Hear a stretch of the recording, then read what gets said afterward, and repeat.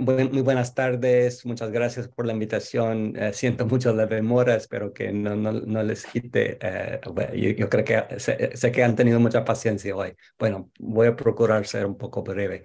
Ah, pues eh, les cuento un poco sobre nuestro trabajo y cómo se encaja con los temas de hoy.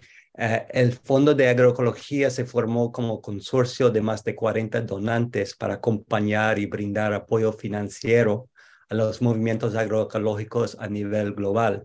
Hemos otorgado más de 15 mil, 15 mil millones de dólares, perdón, 15 millones de dólares eh, en subvenciones en 85 países a redes y colaboraciones lideradas por pueblos indígenas, campesinos y campesinas y alianzas mixtas como la Vía Campesina. Los 13 principios de la agroecología, como ha descrito Emil y Marte y otros, guían nuestro trabajo como se ha hablado, han habido avances importantes en el Comité de Seguridad Alimentaria y en la FAO sobre la agroecología. El Fondo de Agroecología no es ortodoxo ni impuesto sobre el término agroecología. Muchos de nuestros socios no usan el término, sino otros como los sistemas indígenas alimentarios. Lo más importante es que estemos alienados en principios. Pues como mencionó José María, el derecho humano a la alimentación es también un marco fundacional para el fondo.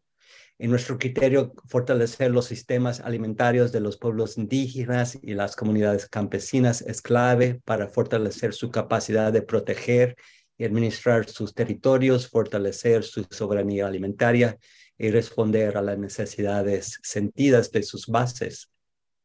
Yo creo que bastante hoy se ha hablado eh, sobre los impactos de la industria, eh, la, agricultura industrial, con al menos un tercio de las emisiones globales y una crisis nutricional catastrófica debido a estos sistemas. Existe un creciente interés y compromisos con la agroecología.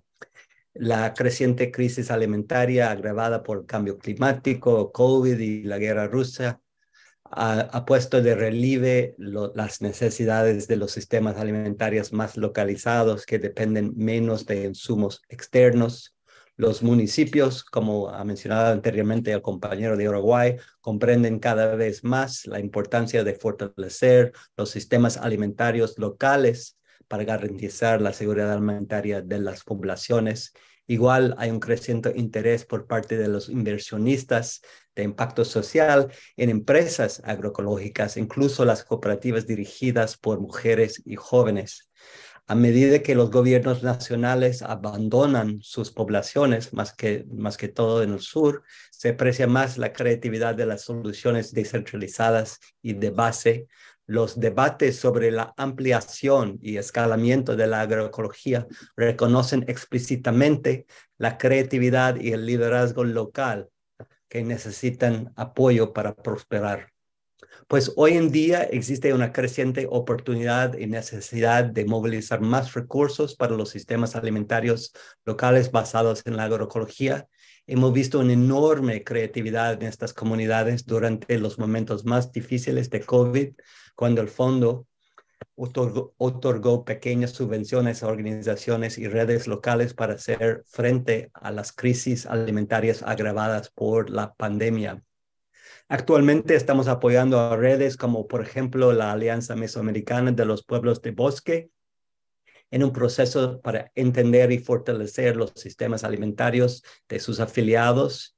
Recientemente estuve con Ofrane, una organización garífuna en Honduras, mayormente de mujeres que hemos apoyado. Hablamos de sus estrategias para cultivar el coco y otros diversos cultivos ante la expansión de la palma africana y el narcotráfico. Es un trabajo simultáneo de resistencia y construcción de alternativas. La cooperación necesita apoyar a ambos contar con productores adictos a los pesticidas y fertilizantes integradas en cadenas globales de abastecimiento es un buen negocio. El trabajo agroecológico de las comunidades en sus territorios puede ser muy arriesgado. Como donantes tenemos que comprometernos con los que enfrenten a estos intereses económicos poderosos. Actualmente, aunque incipiente, crece un compromiso por algunos donantes con las organizaciones y redes de base que componen los movimientos agroecológicos, alineados con los principios de la descentralización y la co-creación de la agroecología. Existen también mecanismos de filantropía basados en la confianza, la solidaridad y la participación amplia las asignaciones de las subvenciones de nuestro fondo son recomendadas por una consejera, una junta consejera global de 13 miembros, un tercio de los cuales son indígenas. En la península Yucatán de México estamos apoyando a arrancar un fondo ah, maya local para la agroecología. En la India y África del Este y Oeste estamos apoyando a la construcción de fondos agroecológicos regionales dirigidos por actores de base. Creemos que si entendemos la importancia de los movimientos sociales en escalar la agroecología, tenemos que utilizar mecanismos de donaciones dirigidos por ellos. Tomamos muy en serio la responsabilidad de coordinar con otros donantes, acompañar a estos movimientos agroecológicos, o sea, pasar de un modesto aumento en, la financiación.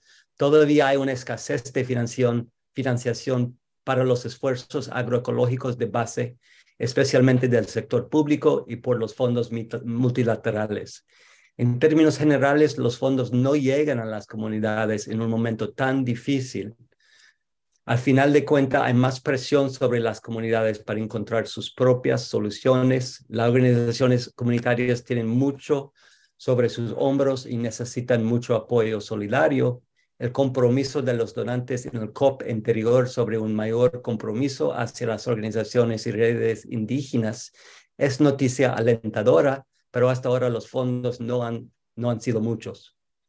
Hay un largo camino por recorrer. Tenemos que revertir cualquier retroceso de la cooperación internacional, que es una tendencia alarmante. Y el problema no parece ser una escasez de fondos, sí existen los fondos. Los financiadores de clima y conservación pueden apoyar a los derechos y los medios de subsistencia de las comunidades como una forma necesaria de lograr sus propios objetivos de seguridad alimentaria, mitigación climática y la conservación de biodiversidad.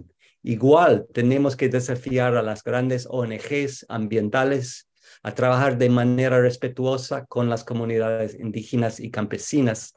A menudo, con sus relaciones con donantes, las ONGs internacionales son los beneficiarios de una mayor atención a la agroecología y no las propias comunidades. Es, el peligro es real de repetir las relaciones coloniales, instrumentales con las comunidades locales. Claramente hay mucho lavado verde bajo el concepto de la agroecología.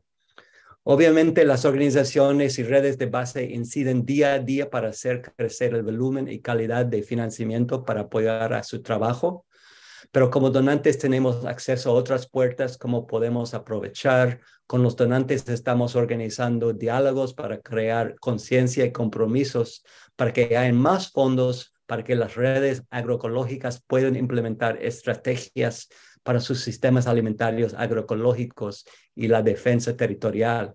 Actualmente, con el apoyo de Emil, que he hablado anteriormente, eh, apoyamos en la convocatoria del grupo de donantes para la agroecología, en la cual eh, participa también la cooperación española, y precedimos el comité de trabajo sobre finanzas e inversiones dentro de la coalición para la agroecología. Eh, para hacer nuestras inversiones transparentes, estamos lanzando un esfuerzo para documentar y rastrear las inversiones de agencias de cooperación de los gobiernos y de la filantropía en la agricultura calificadas contra los principios de la agroecología.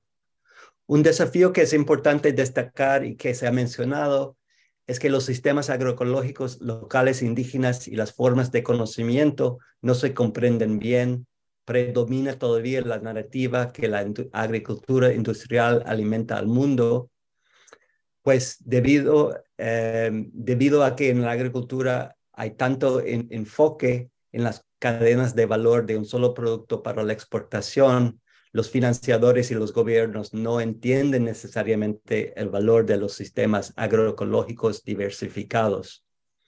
En este sentido, urge movilizar fondos para apoyar al aprendizaje, la experimentación y la documentación, como han descrito Madame Sao, Ernesto, Marta y Emil, otros ponentes anteriores. Hay mucho conocimiento indígena que está en peligro de perderse, especialmente debido a la COVID y la, a la emigración.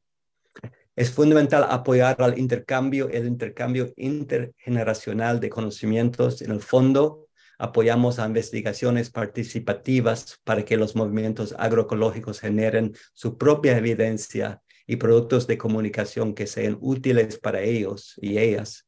Urge apoyar a procesos de intercambio entre las redes indígenas y de pequeñas, pequeños agricultores sobre sus propias estrategias para ampliar los sistemas alimentarios agroecológicos.